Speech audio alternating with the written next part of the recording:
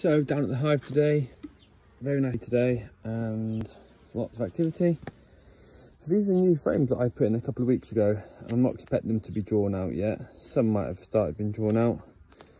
Um, for some reason I can't get them out. Have, I'll have a little look. Um, definitely some activity down there. Not an awful lot. So I'll get this top brood box off. We'll take a better, closer look. So as predicted, um, bees are doing all right, but um, there's a lot of burr comb. So they've made a lot of um, extra comb within the spaces, which isn't good. The end ones they use for honey. I think they've started drawing this one out slightly. Yeah. The other ones are just full crammed with um, honey and brood. I might take out, I might get some open, I'll have a look. Um, it looks like uh, capped brood, which is good. And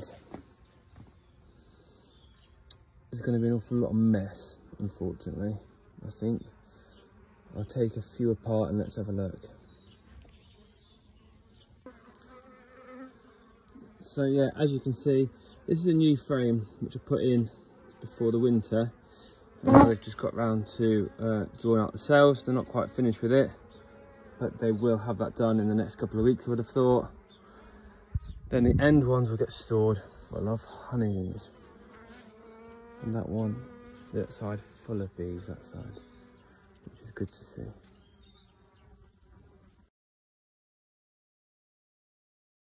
So, on this frame, we have some larvae.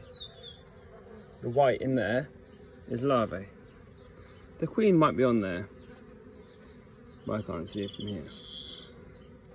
But that, the white has an egg. There's Some honey, on the side being, being um, made.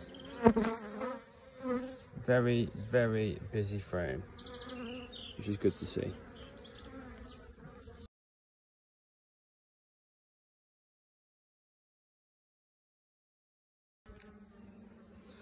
So uh, is that frame, and you know I said half it was attached.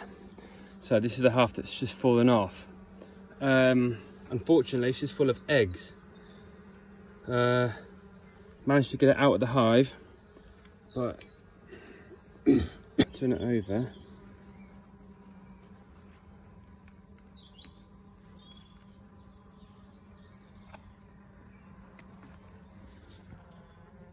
So they're not going to make it. Nothing I can do. Really weird. I don't really know what I can do.